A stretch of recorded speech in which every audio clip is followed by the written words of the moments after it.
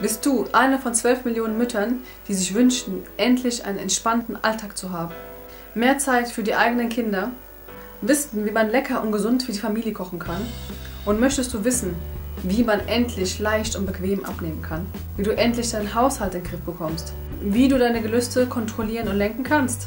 Mein Name ist Samar, ich bin Mama von drei kleinen Kindern und habe das Glück, endlich den Weg gefunden zu haben, wie ich entspannt und glücklich mit meiner Familie und mit meinem Alltag leben kann.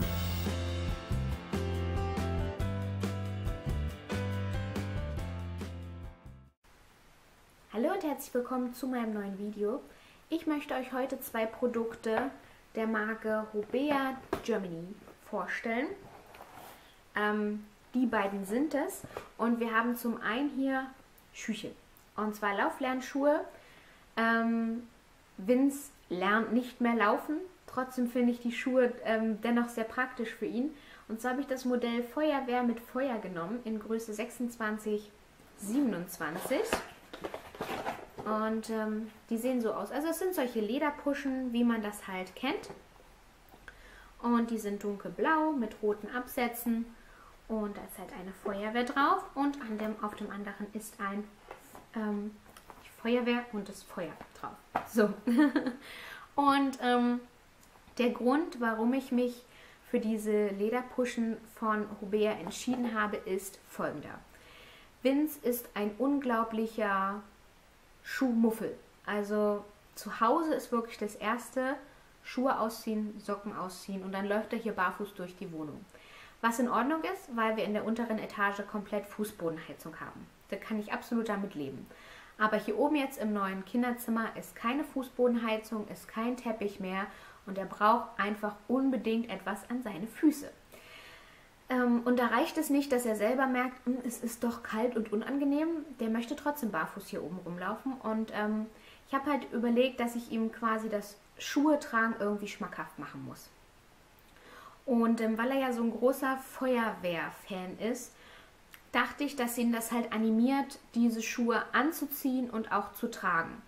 Also ich werde es auch wirklich so machen, dass die hier oben ähm, vor dem Kinderzimmer stehen und ähm, er halt die Ansage bekommt, wenn er im Kinderzimmer spielt, dann muss er sich vorher die Schuhe anziehen. Und ich hoffe, das funktioniert so. Also ich werde euch ähm, mit der Kamera mitnehmen, wenn ich ihm die Schuhe zeige, wenn ich ihm erkläre, was diese Schuhe auf sich haben und wo er die zu tragen hat.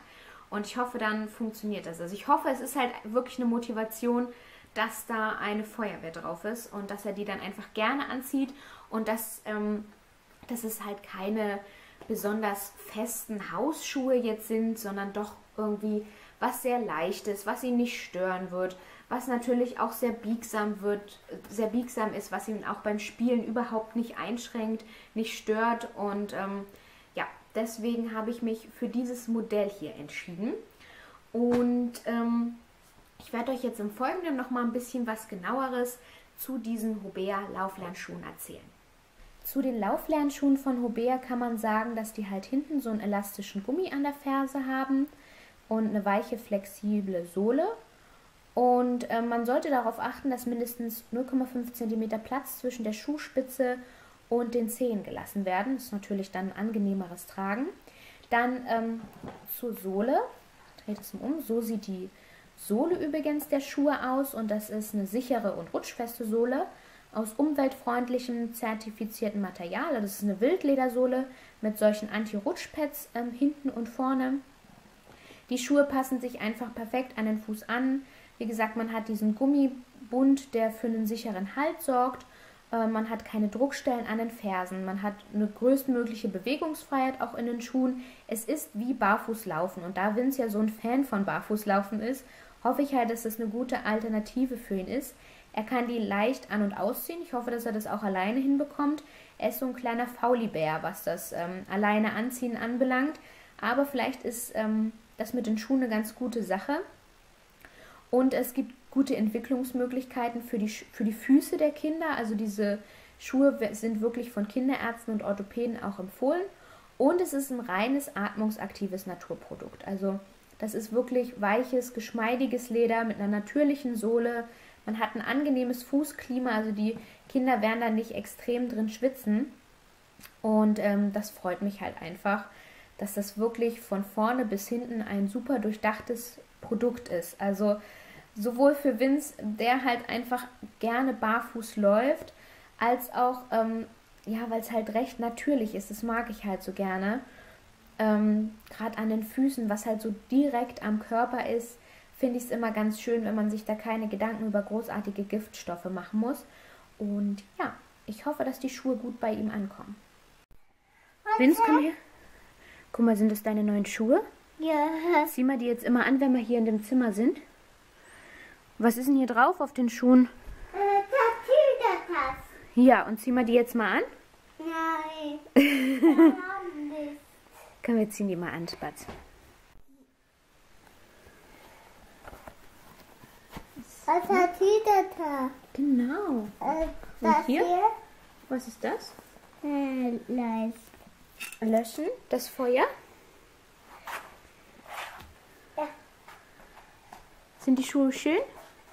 Ja, das hier lesen. Wir können jetzt ein Buch lesen, ja.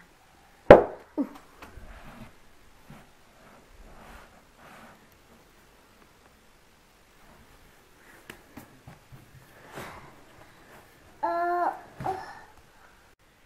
Das zweite Produkt, das ist ein Kirschkernkissen, ein Wärmekissen mit Eulen drauf. Und das kostet übrigens 6,90 Euro. Das finde ich auch ein absolut super Preis. Das ist rund, so sieht es aus. Ich finde es eigentlich auch Unisex. Ähm, aber es ist für Vince gedacht. Ähm, und zwar aus dem einfachen Grund, ich finde meine Wärmekissen nicht mehr. Ich weiß, ich hatte für Vince als Baby ein oder zwei Wärmekissen auf jeden Fall. Und dann habe ich die weggepackt. Und so dieses Klassische, wie man das kennt. Ich habe die irgendwo hingeräumt, wo ich dachte, na, da weißt du dann auf jeden Fall, wo die liegen. Und ich weiß nicht, wo ich die hingeräumt habe. Und ich war jetzt schon oft in der Situation, nicht weil Vince irgendwie Bauchschmerzen hatte, damit haben wir überhaupt gar keine Probleme. Aber ich persönlich finde es zum Beispiel immer sehr, sehr schön, wenn es richtig kalt draußen ist oder ungemütliches Wetter, wenn ich mir so eine Wärmflasche mit ins Bett nehmen kann. Und ähm, er hatte jetzt manchmal so Einschlafschwierigkeiten oder auch Schwierigkeiten beim Durchschlafen. Und da hatte ich überlegt, wäre so ein Wärmekissen vielleicht was sehr Schönes gewesen, einfach was Beruhigendes, was Warmes gewesen. Tja, aber ich hatte kein Wärmekissen. Genauso eine andere Situation frühmorgens. Also wir hatten es ja ähm, zeitweise minus 10 Grad, minus 12 Grad.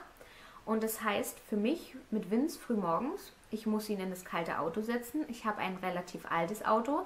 Das heißt, selbst wenn ich da die Heizung anmache, bis zum Kindergarten ist das Auto eh nicht warm. Und ich musste ja erstmal kratzen. Das heißt, der saß dann da erstmal 10 Minuten im kalten Auto, während ich gekratzt habe.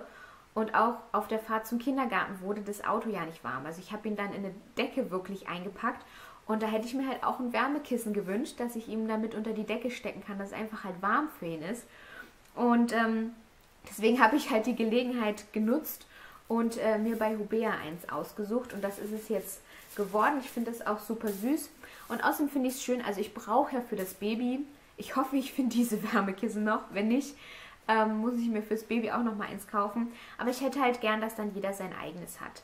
Ähm, mir ist das auch irgendwie ganz wichtig. Vince ist so ein Mensch, ähm, ich weiß, wenn er beim Baby sehen wird, es hat ein Wärmekissen auf dem Bauch, wenn es dann zum Beispiel die drei Monatskoliken ist, dass er dann zu mir kommt und mir erzählt, dass er bitte auch sowas auf seinem Bauch haben möchte.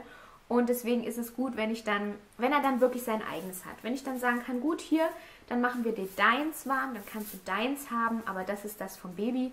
Ähm, das finde ich immer ganz gut. Und deswegen hat er jetzt dieses schöne Wärmekissen, was ich ihm dann nachher auch zeigen werde, was ihr euch auch mit anschauen könnt.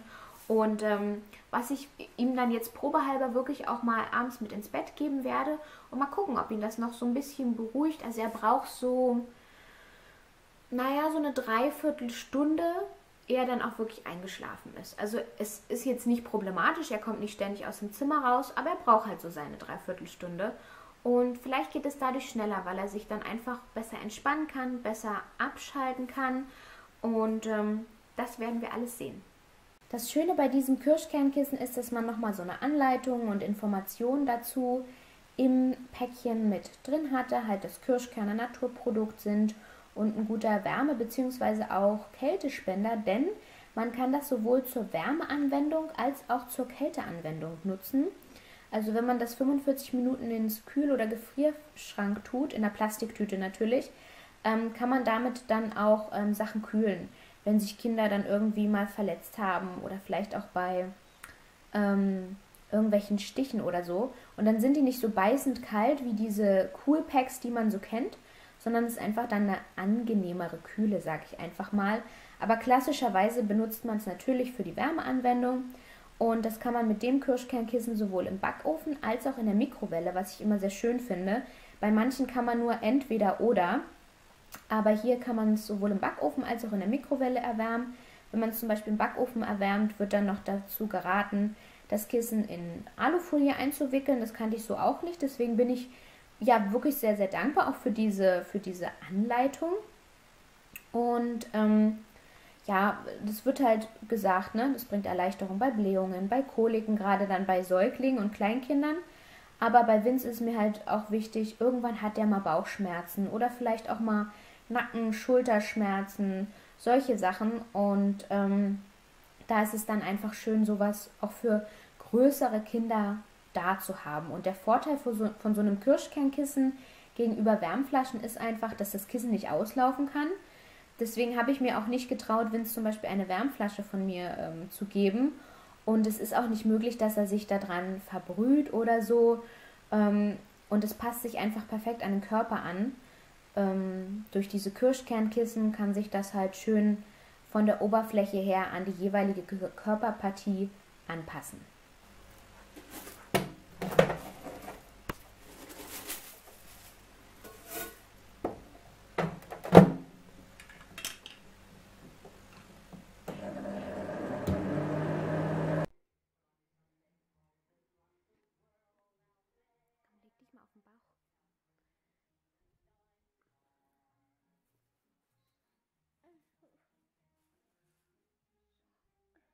Der Marke Hobea Germany kann man noch sagen, es ist ein Familienunternehmen mit Sitz in Mittelhessen und es ist vor allem für qualitativ hochwertige und funktionale Artikel für Babys und Kleinkinder bekannt.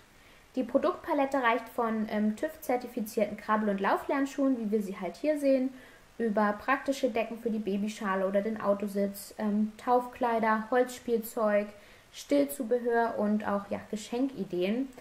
Und ein besonderes Augenmerk wird dabei auf die Verträglichkeit und die Funktionalität jedes einzelnen Artikels gelegt, was für Eltern ja immer auch sehr, sehr, sehr, sehr wichtig ist. Und so entsprechen zum Beispiel sämtliche Artikel den europäischen Normen und eine Garantie dafür, dass alle bei Hobea Germany gekauften Produkte frei von Schadstoffen sind. Und damit hat man einfach als Eltern ein sehr, sehr gutes Gefühl, wenn man sowas kauft und seinen Kindern dann halt sowas zum Anziehen zum Kuscheln bzw. zum Spielen an die Hand gibt.